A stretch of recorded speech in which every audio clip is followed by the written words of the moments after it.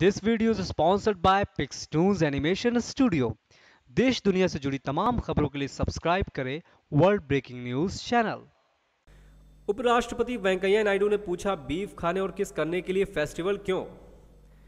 मुंबई में आयोजित एक कार्यक्रम के दौरान उपराष्ट्रपति वेंकैया नायडू बीफ फेस्टिवल और खुलेआम किस करने वालों पर जमकर भड़के।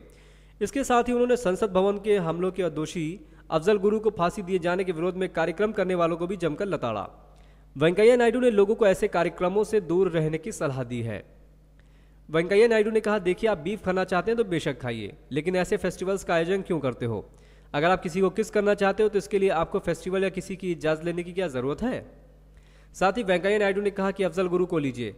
कुछ लोग उसके नाम का गुणगान कर रहे हैं। आखिर ये हो क्या रहा है? वो हमारे संसद भवन को बम से उड़ाने की धमाके से आया था। वैसे बता दें कि वेंकैया नायडू जब केंद्रीय मंत्री थे, तब भी उन्होंने बीफ का विरोध नहीं किया। उन्होंने ये स्वीकार किया था कि वो खुद भी मांसाहार को पसंद करते हैं।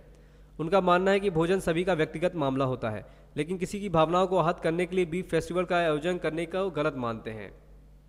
बता दें, कार्यक्रम आर ए पोद्दार कॉलेज में ऑफ़ कॉमर्स एंड इकोनॉमिक्स की ओर से आयोजित हुआ था। वेंकैया नायडू मुंबई स्थित इस कॉलेज में प्लैटिनम जुबली कार्यक्रम में हिस्सा ले रहे थे। उपराष्ट्रपति ने कार्यक्रम में मौजूद लोगों घर और कॉलेज का माहौल को तनाव रहित बनाने की अपील की। उन्होंने कहा यह दुर्भाग्यपूर्ण है कि कुछ पेरेंट्स अपने बच्चों की क्षमता को समझ नहीं पाते हैं। धन्यवाद।